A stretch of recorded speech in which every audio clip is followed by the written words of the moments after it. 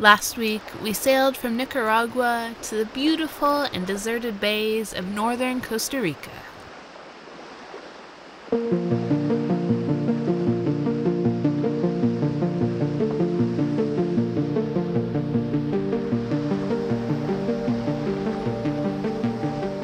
right, it's time for another little shore excursion here. We are going to try to find a waterfall. Rode over to the other side of the bay, hiking up a creek bed now. We have some directions, see if we can find it. Armed with our radio, we're going to get a couple of waypoints we're going to try and find.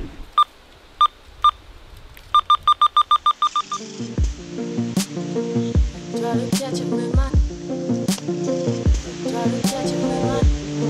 Following our directions, we headed up a Forest Service road and then turned to walk up a riverbed, which was mostly dry now that the rainy season had ended, and made for an easy hike.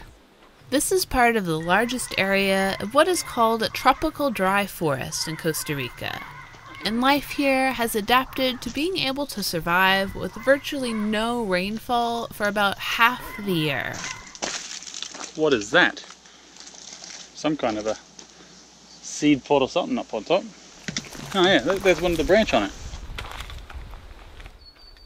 As we hiked, we took in the interesting plants, listened to birds, and even spotted some wildlife.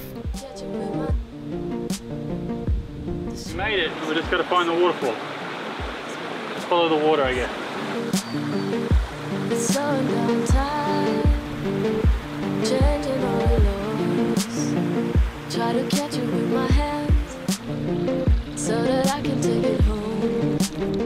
Enjoyed meandering along the stream and wondered how different it would be in the rainy season. From the grooves and channels in the gravel, it looked like it could be quite a raging river.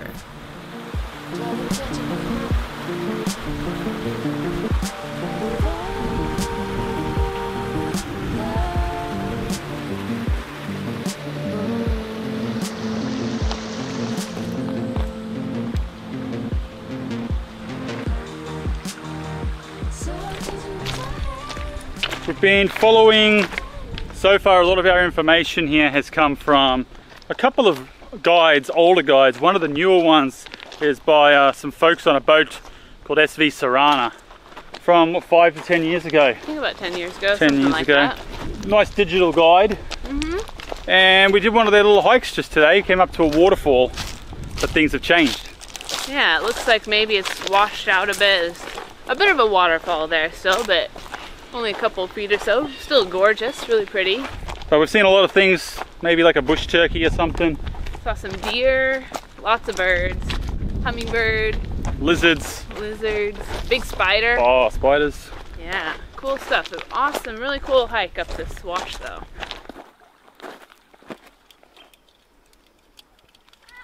So here in Santa Elena, there's a little mangrove channel at the far end of this bay. And I came up here in the paddleboard yesterday and it was amazing. Beautiful in here, tons of birds, awesome trees. So we had to come back in the dinghy so we could get some video for you guys and do some fishing. No luck.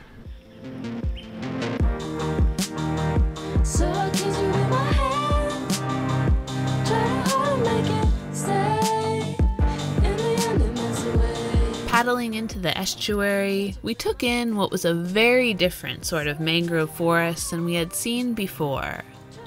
Big, tall, red mangrove trees made it feel much more jungle like. And as we paddled up, we disappeared into a completely different world. This was a totally unique place, and we felt like we were miles from the sea or dry forest that was just across the bay.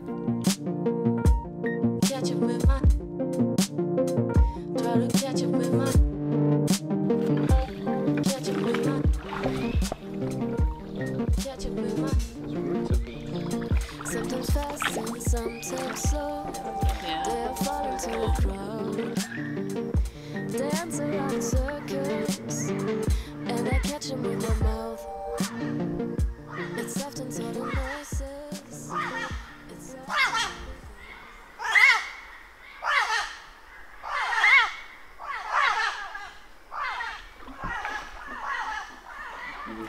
Thank you.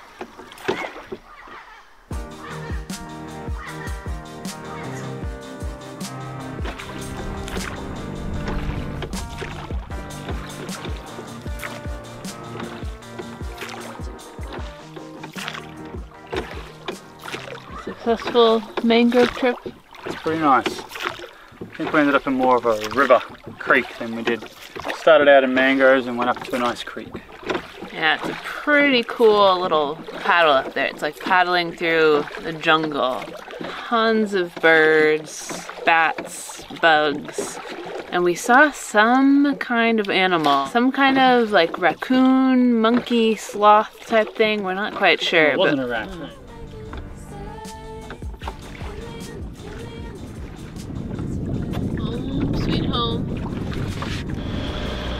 Today we are leaving this beautiful remote bay Bahia Santa Elena in northern Costa Rica. We're headed south. We're headed around a little cape here and across a big gulf that's known as the Gulf of Papagayo. It's known for really strong, kind of like gap winds, and today and tomorrow it's supposed to be a, a bit calmer. Um, not Only so windy 17 to 25 today. which is better than like the gale force winds that has been the past week. It's tough to tell. We woke up this morning, it was the calmest day we've probably had here. So we'll see what it is once we get out here. It does look a little lumpy and a few white caps out there. Uh, looks like, I think our route's around 40, 44 miles. As soon as we left the protection of Bahia Santa Elena, we were met with the full force of the wind, and we were glad that we had put up a reefed mainsail instead of a full one.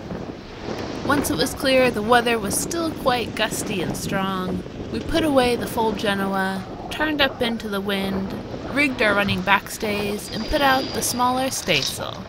And then we were cruising, as comfortably as you can be under these conditions.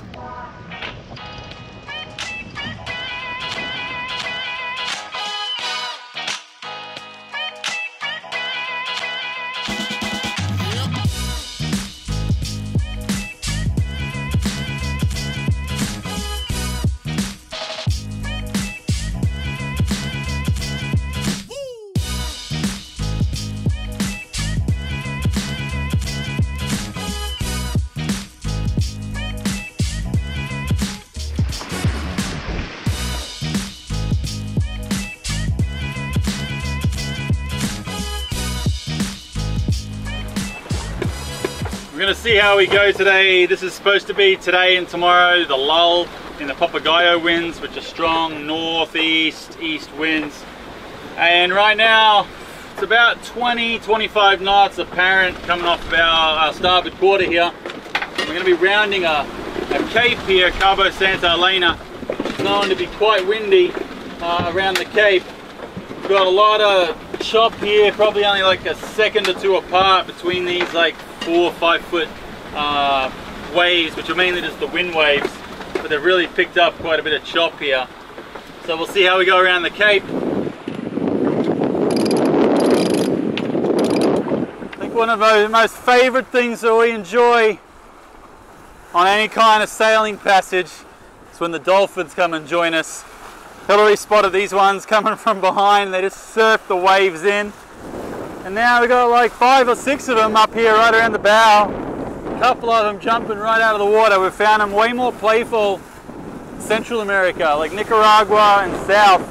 We found the dolphins just leaping out of the out of the water and doing crazy acrobatics. It's pretty awesome to see that in the wild.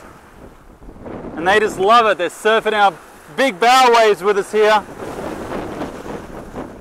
They're pretty cool to watch.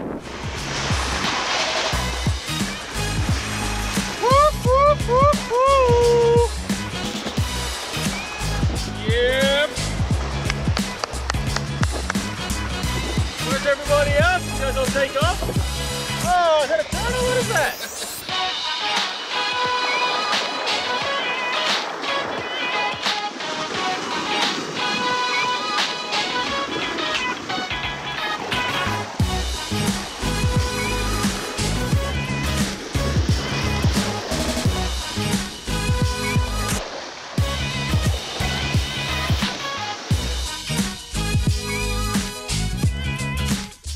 Surprisingly, as we neared the cape and the small outcropping of islands, the wind actually settled down. And before we knew it, we were totally in the lee of the point with calm, flat seas. We had a very uneventful crossing yesterday of the Gulf of Papagayo. You get what are called the Papagayo winds, which are north northeast winds basically coming across from the Caribbean, and they can be extremely strong, uh, more prevalent at this time of year. Don't know what happened. The wind was screaming out of southern Nicaragua and northern Costa Rica there, Bahia Salinas and Bahia Santa Elena. And once we got to the Cape, where we were worried about the winds, which can really accelerate around there, the winds completely died.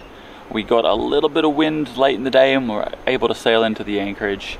We do have a little further to go to uh, where we can check into Costa Rica. But this is a gorgeous spot and we're excited to check it out. I know Hillary's done a little bit of exploring already and found some cool stuff.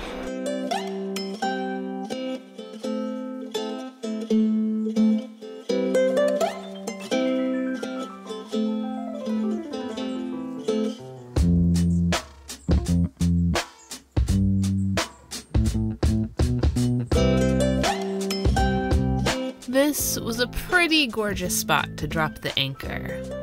Tucked behind a small peninsula with big cliff walls, tropical forest, and clear blue water, we were excited to spend some time exploring here.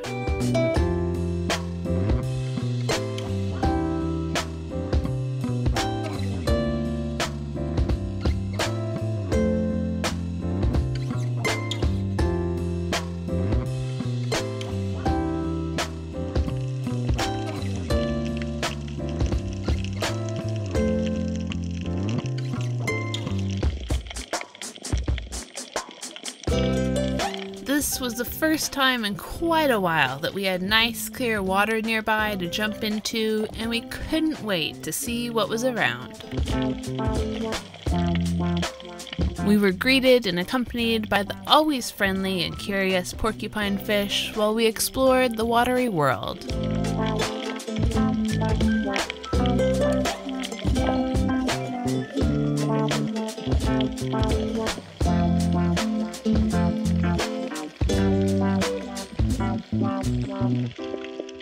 By far, the most interesting find were several spotted eagle rays.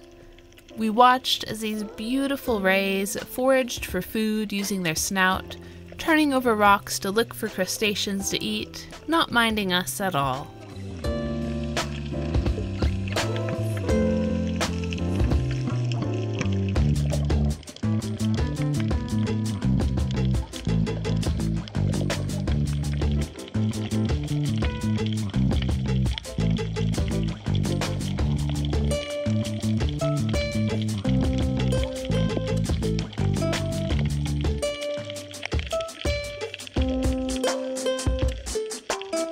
Another cool sighting was a small sea turtle resting in a rocky crevice of the reef.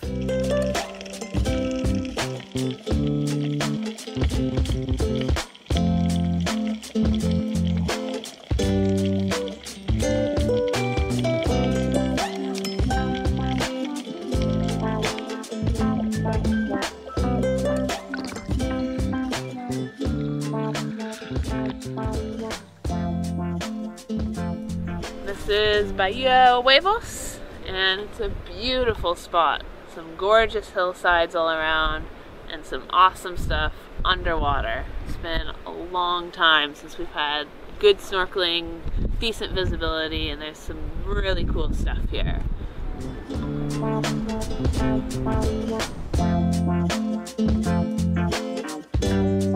Thanks so much for joining us, and a huge thanks to our patron Adrift crew who keep these videos coming. If you enjoyed watching, please give us a thumbs up, subscribe, and even consider becoming a patron. Until next time, adios! Uh, I'm lining up for the high dive. and, well, the diving board has spun around on me and I'm going to see if I can leave.